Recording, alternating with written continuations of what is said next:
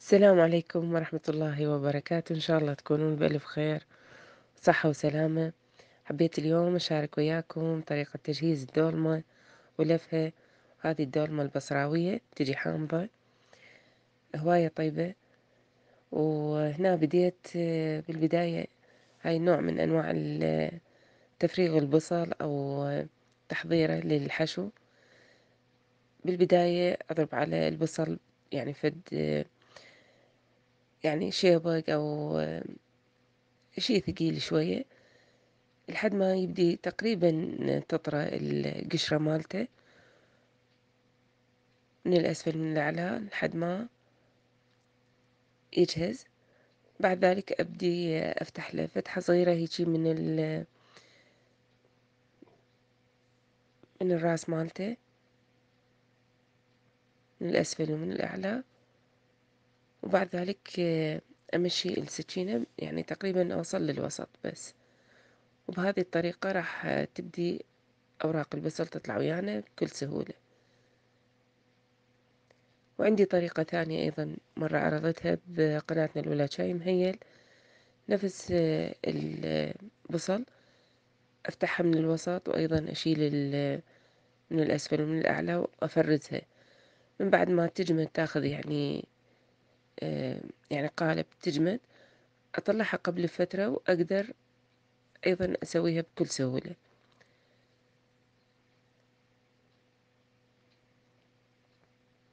وهنا عندنا طبعا مو كل الخضروات تكون متوفرة عندي.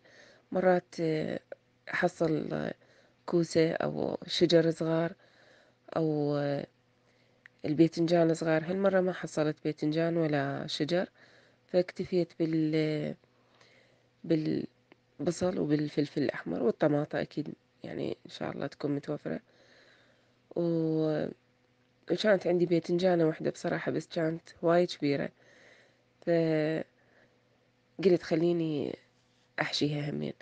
حبيت أشوفكم هذه المحفارة ما تصورون قد مفيدة. هسه شوفوا مثلا حشيت البوتيتا هنا آه يعني حفرتها. حضرتها للحشوة وشوف شلون آه، تجي هواية مرتبة وتحفر بعمق وبنفس الوقت تسوي لنا الغلاف الخارجي يعني يصير آه، خفيف بدون ما تعذبنا مثل المحفارة العادية. فهذه تجي ويا سيتات أو آه، يعني شلون اللي تصير للفواكه والخضروات تسوي ديزاين معين. تجي هاي بيها جهتين. جربت بيها الباذنجان وجربت بيها ال- الطماطة همينة نفس الشي تحفرها بطريقة حلوة. وهاي مثل ما تشوفون البوتيتا وأكيد الكوسة نفس الشي. تصير قشرتها خفيفة بدون ما تتعب. بالنسبة للحشوة هنا نقعت تمن تقريبا خمسة أكواب من التمن العادي التايلندي اللي يحتوي على نشا أفضل بكثير وعندي اللحم المفروم تفرمونه بالإيد أو تفرمونه يعني جاهز.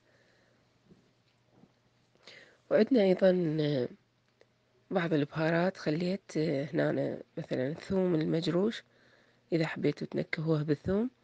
وعندنا البابريكا. وأيضا عندنا هذا الكاري. وهاي بهارات السبعة. أنا أطحنها بالبيت إذا حبيتوا تشوفوها عندنا قناتنا الأولى شاي مهين موجودة بفيديو.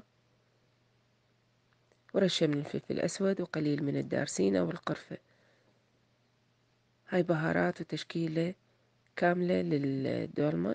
خليت المعجون والشبنت الكزبر أو المعدنوس. وعندنا السماق همينة ينطيها طعم هواية طيب. وهذا اللي مندوزي بالنسبة لهذه الكمية يراد لها تقريبا ملعقتين أو ملعقة ونص. بالإضافة إلى ذلك يعني خليت تقريبا هنا عندنا نص كوب أو شوي أكثر من تمر الهند عصير تمر الهند. نقعته بشوية مي حار. أخذت لي قطعة يعني يعني تقريبا ملعقتين طعام ونقعتهم مي حار. بعد ذلك أخذ منهم العصارة. وبالنسبة لل لب الباذنجان الكوسة الشجر يعني أو البوتيتة كله نقدر نفرمه ونخليه بنفس الحشوة. ينطيها طعم طيب وتصير غنية بالطعم الخضروات نفس الوقت. نعم بعد ما خلطتها الحشوة أبدي أرتب قاعية الجدر. أه طبعا ما عندنا ضلوع مال يعني بصراحة ما كان متوفر عندي.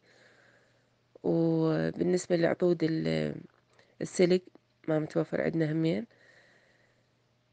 فأخلي قاعدة من البوتيتا هي أول قاعدة تكون أفضل من ما نخلي البصل مباشرة. أول طبقة أخليها على البوتيتا هي البصل رشية رشة بسيطة من الملح على البوتيتا وشوية زيت وأبدي أصف الطبقة الأولى من البصل مثل ما تشوفون نرتبها.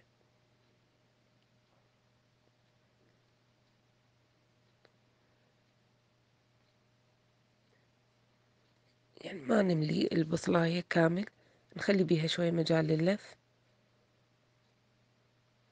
حتى تنطوي لما نصف عليها الثقل باقي المواد والخضروات فراح تبقى ثابتة على نفس الشكل. وهاي الباذنجانة بصراحة اللي لقيتها بالثلاجة الباذنجانة الوحيدة صح كبيرة بس يعني المهم تعطي طعم طيب بال بالدولمة وبالنسبة للبوتيتا همينة أحشيها وأغطيها بورق العنب. والطماطة قعدها بالوسط.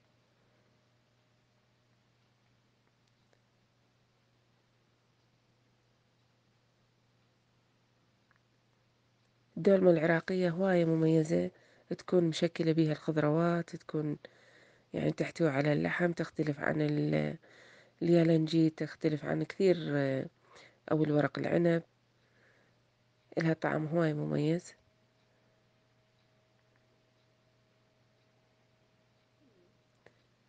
وبالنسبة للبوتيتا اللي إذا صارت عندكم مثلا هذا الثقب نقدر نصلحها ننزل بيها ورق العنب بهذه الطريقة ونبدي نحشي براحتنا يعني بدون ما يبقى هذا الثقب أو تطلع من عنده الحشوة.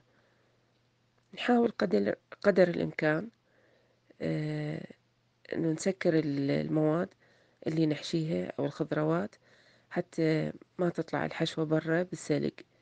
أثناء الاستواء. وهنا رشيت عليها رشة من بين الطبقتين من الباقلة الخضراء. تحبون تفلسوها وتبقى يعني بهذا القشر. بالنسبة لحشوة ورق العنب الوجه الناعم يصير من الأسفل والعروق الخشنة تصير على وجهنا آه، حتى تبقى بلمعة. ولفتها مثل ما تشوفون هواية سهلة. نبدي نفرش الحشوة بشكل طولي وبعد ذلك نبرمها ونشد عليها لحد ما تخلص ويانا الكمية.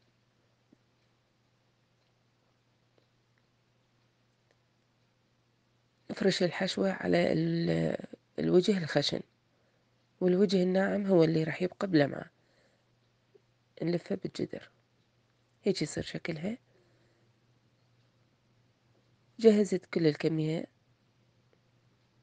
لفيتها بورق العنب وهسه إن شاء الله راح نبدي نصفها بالجدر.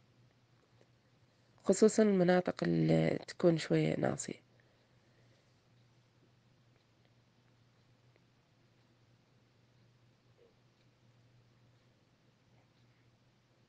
نصفها على الداير.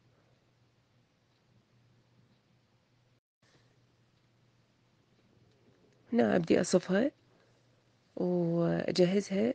أخليها بالثلاجة وأجهزها ثاني يوم الصبح. أبدي أطبخها. تكون علي هواية سهلة.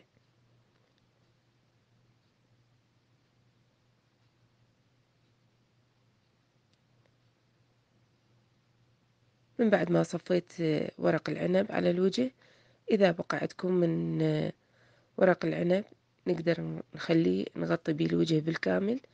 حتى الحشوة ما تطلع عندنا برا بالسلق.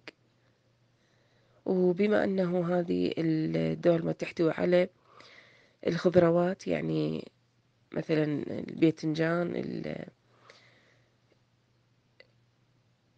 بطن البصل البوتيتا فما راح تحتاج مي بالطبخ.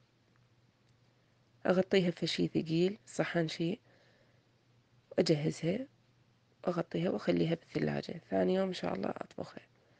أتمنى يعجبكم هذا الفيديو وتستفاد من عنده بنياتنا الصغار.